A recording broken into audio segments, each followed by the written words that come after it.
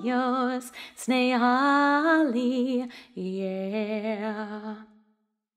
One happy birthday dot com.